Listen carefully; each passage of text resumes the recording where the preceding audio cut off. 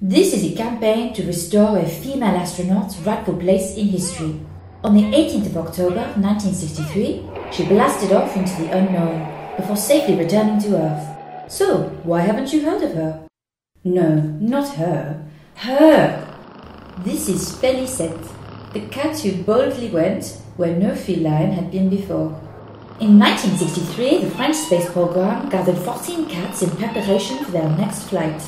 Back then, scientists all over the world wanted to understand how the lack of gravity could affect animals.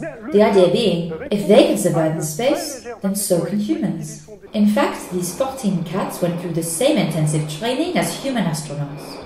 Ultimately, it was Félicette who was chosen for the mission due to her calm disposition, though some reports say it was because all the other cats had put on too much weight. On launch day, Félicette was placed into a capsule atop a rocket that could travel at 5 to 6 times the speed of sound.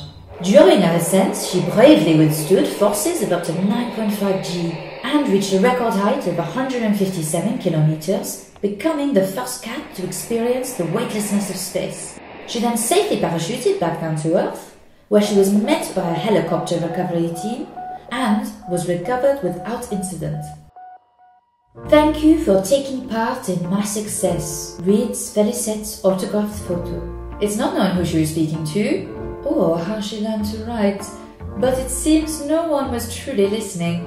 She made headlines, but would ultimately be overshadowed by the other space race milestones of the 1960s.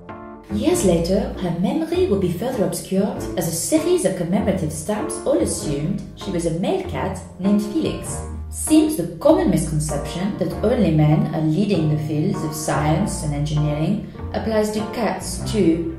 It's Félicette's contributions to spaceflight research that the ones that allow us to take our cats to the Martian colonies and beyond. For that, she deserves her rightful recognition. The first chimp in space is buried at the International Space Hall of Fame.